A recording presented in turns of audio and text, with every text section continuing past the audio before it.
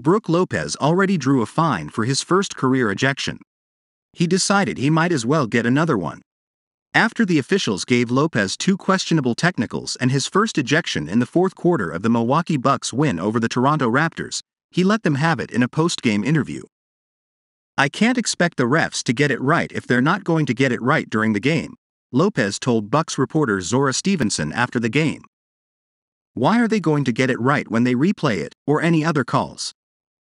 It's what it is, you know? I make mistakes, and they make mistakes, too. They made mistakes tonight. When Toronto's Gary Trent Jr. wrapped up Lopez, Lopez walked him all the way into the crowd, then pulled off his headband, which led to technical foul number one. As for the shove of OG Anunoby, which supposedly led to Lopez's ejection, we just don't see it. Anunoby is holding Lopez's left arm, and Lopez pulls his arm free. That's it.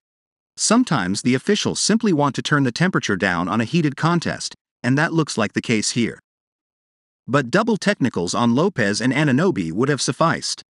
The referees have been quick with whistles all season, ting players up for clapping and other minor infractions. It stems from the new guidelines for 2022 23, but aside from Theo Pinson dressing in the opposing team's colors on the Mavericks bench, who is actually hurt by players celebrating on the bench or clapping in frustration? But first, if you are new to the Bucks News channel, take advantage and subscribe so you don't miss the latest news that happens in the world of basketball.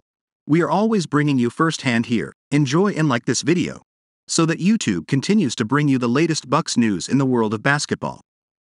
Kevin Durant has 10 technical fouls and he can't understand why.